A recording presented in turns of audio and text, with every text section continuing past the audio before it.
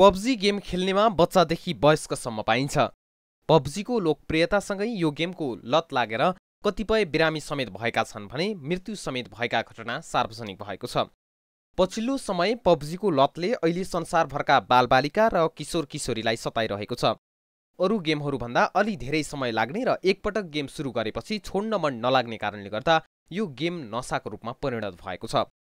यही PUBG game खेल्दा अत्यन्तै अकल्पनीय र अस्वाभाविक घटनाहरू घटिरहेका छन्।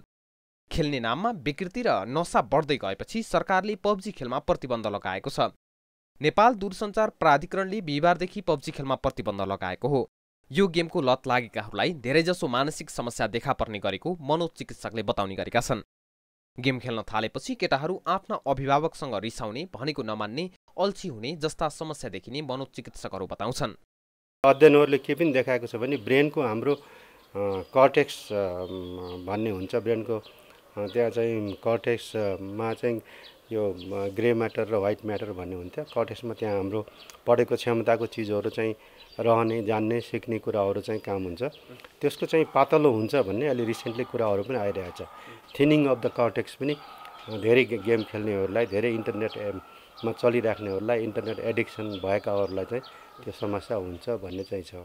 विकृतिको रूपमा फैलिरहेको यो गेमले पार्ने असरबारे समयमै सचेत भएर सरकारले प्रतिबन्ध लगाउनलाई सकारात्मक रूपमा लिन सकिन्छ। प्रहरीको केन्द्रीय अनुसन्धान ब्युरोको विशेष आग्रहमा प्राधिकरणले पब्जी खेल बन्द गर्न सबै इन्टरनेट सेवा प्रदायकहरूलाई निर्देशन दिएको हो।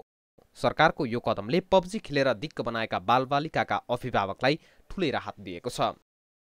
मलाई त धेरै राम्रो लागेको छ है। मेरो छोराले खेलेर दिक्कै बनाइसक्यो। जतिखेर नि पब्जीमा पब्जीमा झुन्डे झुन्डे अनि त्यही भएर धेरै राम्रो लाग्छ। यो गेम खेल्न सुरु गरेपछि आफ्नो काम बिर्सने गेमतिरै ध्यान हुनाले अरूले बोलाएको नसुन्ने लगायत समस्या हुने पब्जी खेल्नेले नै बताउने गरेका छन्। पब्जी खेल विश्वभर अत्याधिक लोकप्रिय हुँदा अहिलेसम्म एक सय मिलियनभन्दा धेरै पटक डाउनलोड भइसकेको छ।